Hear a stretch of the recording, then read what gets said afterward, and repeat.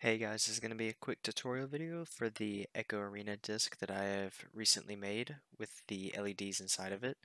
I'm going to show you the um, files that I made, the backup battery, the LEDs, all that stuff that you would need to be able to make this disc yourself. So before we start, the original design was by Brandon AGR. Um, I took some of the parts and made it to where you can put LEDs throughout the disc instead of this uh, other light ring disc, which is actually really cool, but I didn't have those pieces. So first off, the pieces that I printed were the outside pieces, and there's going to be files all in the description that you'll be able to download these from and uh, this is the LED light strip that I had. This is not the portable charger. This is just my personal to check the light strip.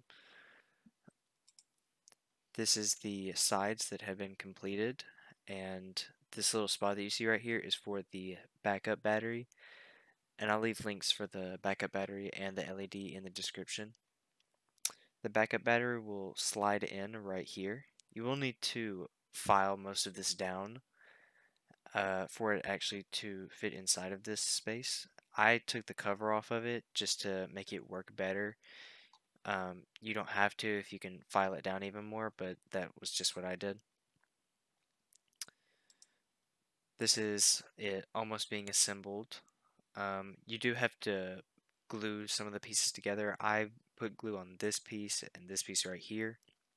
That worked perfectly fine for me. But if you want to add uh, any glue anywhere else, that is completely up to you. This is the backup battery that I used. It is $22 and these are the LED strips that I used. I got the six foot long uh, strip and it worked perfectly fine so I would recommend getting that one as well.